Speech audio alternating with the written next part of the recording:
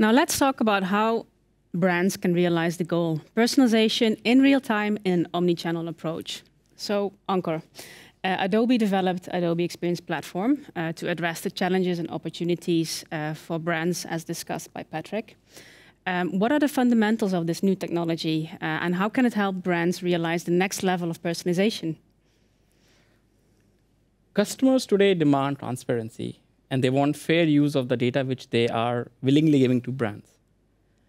This, as well as the challenge of cookieless, is giving us a new opportunity to really work on our personalization. 63% of customers today still expect personalized experience, regardless of what happens in the cookies. They do not care about that. The way Adobe addresses this challenge is by bringing in the principle of using durable identifiers and giving rocket speed streaming and even streaming of data through events as well as data fragments, and then combining them together into real-time profiles. Let's have a look. So we have now a one data stream leaving our website. It could be at point of sales, it could be at the mobile app, or it could be through email. All of that gets streamed directly to Adobe Experience Platform, and then it is redistributed towards different Adobe solutions. What happens next is we then have our platform which has this data foundation right at the bottom. On top of it, we have services for identity resolution, different fragments of information flowing in from different channels, and then they get combined into these real-time profiles. Furthermore, to really deliver a proper personalized experience, brands need to do really three things. First is unify data. Unify data into real-time profiles. But today the challenge is our customers might have the data, but they, this data is spread across different channels, and it takes a lot of effort to combine it together. The second is build audiences. Audiences which are built on rules based on AI models or on data science outputs. And finally, combining this with good content can deliver a great experience. Adobe Experience Platform does it from the ground up. With a common data foundation and its services, this is something which comes natural to our product. We spoke about first-party data before. Um, why does it seem to be the solution to the cookieless challenge that, we, that we're facing? So marketers today and brands today have two options with them. Either wait for a solution to the third-party cookies, which means which was already not very effective to begin with, or to evolve. And the evolution really is leverage what data you have through a consented and transparent approach through your customers, or create new experiences, deliver value to your customers so that they are willingly sharing this data with you.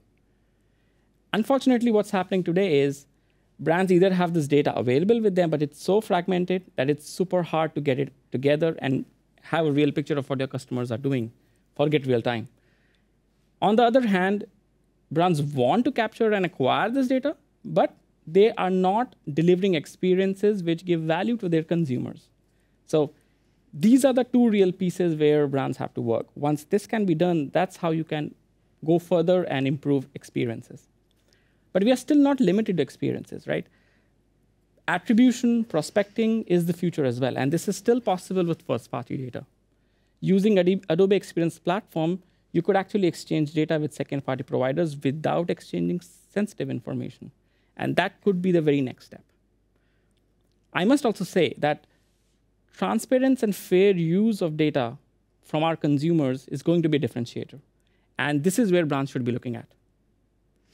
So a lot of our uh, customers are worried about data privacy regulations across the world. So how can they still achieve their goals with compliance? Excellent.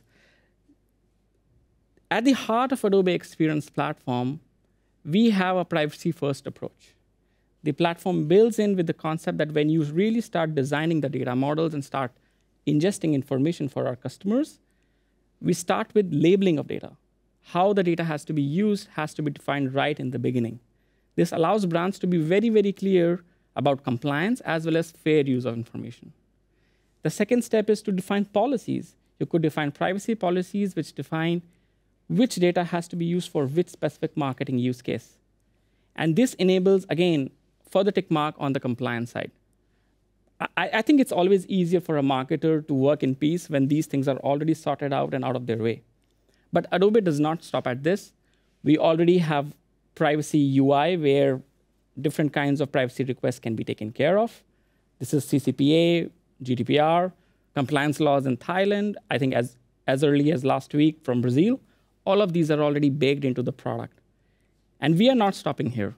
We are listening to our customers every single day and trying to improve on this so that privacy still remains uh, an easy task to do rather than a very complex scenario where long discussions with compliance and marketers have, have to go on.